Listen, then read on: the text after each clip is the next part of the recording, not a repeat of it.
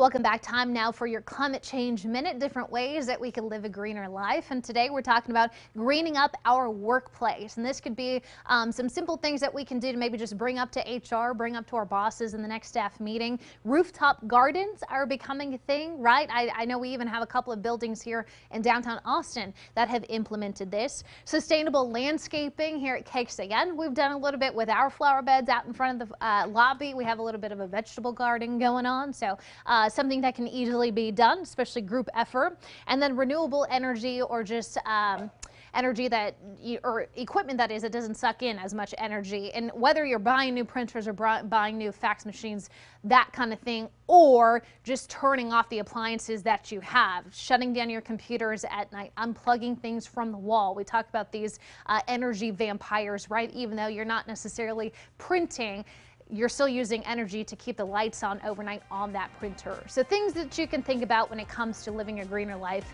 in the workplace.